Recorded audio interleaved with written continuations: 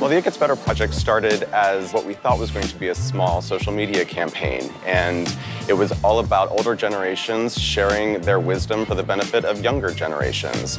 It happened at a time where there were a lot of highly publicized uh, LGBTQ plus youth uh, dying from suicide.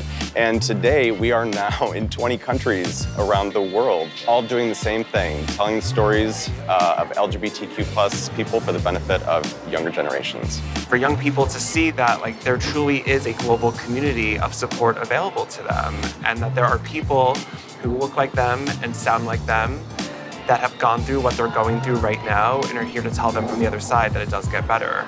I think that's just so important. We've been growing very fast, almost three new countries a year. And what that brings to us is a lot of confusion.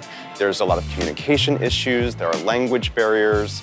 Uh, there are cultural barriers. I saw the announcement that Workplace was starting in September 2016, and I just knew that, like that was what we needed to do. The fact that Workplace for Good is free is incredible. I mean, it's a lifeline for a small nonprofit. We want to connect people, and if we can't connect ourselves within our organization, how in the heck are we going to do that for people outside the organization? We have individual groups for all our affiliate networks. We have like a Latin American group, a Europe group, like so that way those affiliates can communicate with each other more easily and be more collaborative.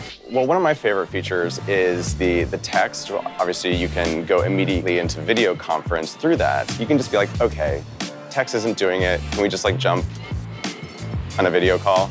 We have a group between staff and board, which has been super helpful and just being more transparent with the board of directors. For me to be able to go to workplace and see how great the team is and how much they care about what they're doing and how they're affecting young people around the world, it just reminds me that what we're doing is vital and effective.